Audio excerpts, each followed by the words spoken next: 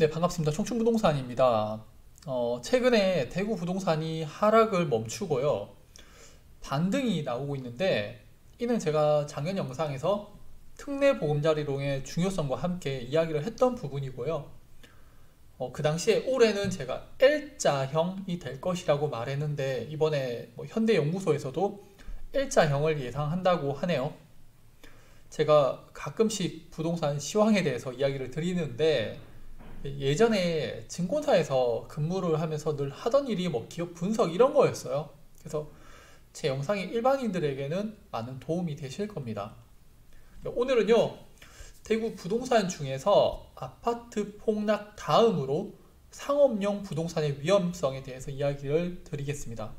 잘못하면요, 상업용 부동산도 폭락할 수 있습니다.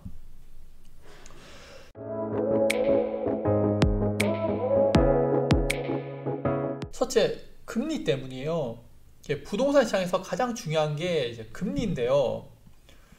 어, 최근 대구 아파트가 금매가 거래가 되고 반등이 나오니까 사람들은 다시 부동산이 상승할 것이다 라고 예상을 하는데 실제 과거처럼 이런 강한 상승이 나오기는 어려울 겁니다.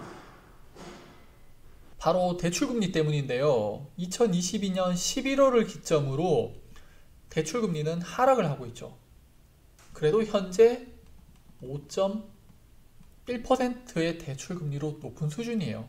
특히 개인 투자자들의 60%가 올해 기준금리 인하를 예상한다고 하는데 섣부른 예측은 큰 위험을 초래할 수 있습니다.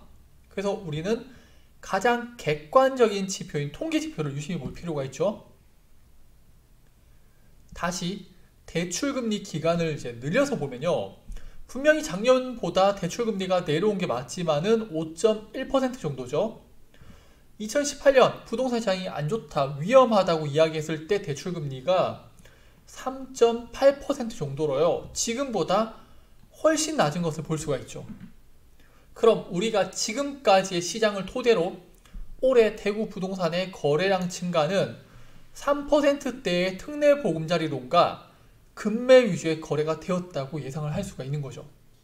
반대로 금매가 거래가 되고 특례 보금자리론이 없어지면 다시 5%대의 높은 대출금리를 이용해야 하는데 그렇게 대출을 내어서 부동산에 투자할 사람들은 많지 않을 겁니다. 특히 은행 대출을 보면요. 2018년에 1,500조 원에서요. 현재는 2,175조 원으로요. 약 5년 만에 670조 원이 증가를 했기 때문에요. 대한민국의 인플레이션은 심각한 건 당연하죠. 그리고 금리도 상승했기 때문에 이자 비용은 더 많이 증가를 하게 되고 그래서 가계 신용에 대한 연체율이 높은 것을 볼 수가 있죠. 우리는 2020년 코로나 시기에 정부에서 재난지원금이라는 이름으로 현금을 지원했고 소상공인들에게도 낮은 금리로 대출해 줬지만은 이제 그 대출 만기가 돌아오고 있는데 금리 인상으로 인한 경기 침체로 사업은 여전히 어렵고 결국 연체율이 증가할 수밖에 없는 겁니다. 많은 개인 투자자들이 올 하반기에 금리 인하를 예상하고 있는데 섣부른 예측은 위험한 게요. 미국 은행에서 올해 네 번째 파산이 나오고 있는데 이게 단순히 뱅크런 때문이 아니고요. 이 은행들은 금리 인하를 예상하고 미국채에 투자를 했고요. 국채 투자가 손실이 나자 불안감을 느낀 예금자들이 현금을 인출했기 때문이죠. 저 또한 작년에는 올 하반기 금리 인하를 예상했었지만은 시장은 계속 바뀌고 있고요. 올해 들어서 금리 인하를 예견할 경제 지표들이 나오고 있지 않습니다. 섣부른 투자는요, 큰 손실을 야기할 수 있기 때문에 조심하시기 바랍니다.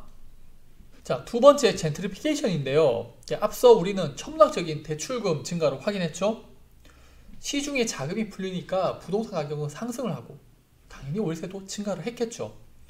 그럼 높은 월세 부담을 느끼는 임차인들은 저렴한 곳으로 옮기거나 공유 오피스를 이용하면서 공실률이 증가를 하게 됩니다.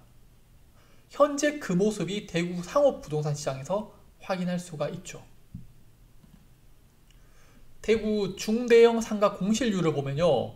대구 전체적으로 1년 전인 2022년 1분기에 14.3%에서 지금은 14.9%로 조금 증가했는 것을 볼 수가 있고요. 여기서 상권을 좀 더 세부적으로 보면요. 대구의 핵심 상권인 동성로 상권이 22년 4분기에 15.7%에서 23년 1분기에 15.9%로 급격하게 증가했는 것을 볼 수가 있는데 최근에 뉴스에서 계속 나오는 이유가 있는 거죠. 다음은 소형상가 공실률을 보면요. 뭐 큰 변화는 없어요. 동성로 또한 1년 전에 비해서 소폭 증가를 했는 모습이에요. 근데 여기는 동대구 상권이 중요한데 신세계 백화점이 들어서고요. 대구의 핫한 지역 중에 하나로 월세가 상당히 증가를 했는 곳이죠. 2022년 1분기 8%의 공실률을 보였던 곳이요. 2023년 1분기에 20%의 공실이 생겼고요. 수성 범어의 경우도 소형상가 공실률은 20% 이상이 지속적으로 보여주고 있죠. 이 공실률 차트로 예상을 하기에는 부족한 면이 있지만은 동성로, 뭐 동대구, 수성 범어의 핵심 상권, 그러니까 월세가 높은 곳에 공실이 높은 것을 볼 수가 있죠.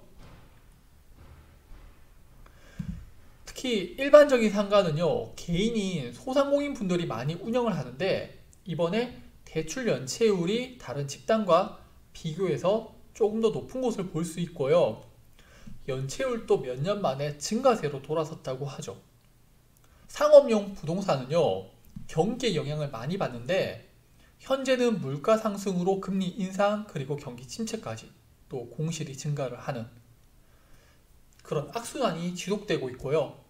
아파트의 경우는 대출 비중이 높아서 빠른 하락이 일어났었지만은 대구 상업용 부동산의 공실률은요. 핵심 상권 위주로 조금씩 증가를 하고 연체율도 상승하고 있다는 점을 생각한다면은 상업용 부동산도 경기 침체가 지속되고 미국의 고금리가 유지되면은 앞으로 몇 년 안에 큰 충격을 주게 될 겁니다.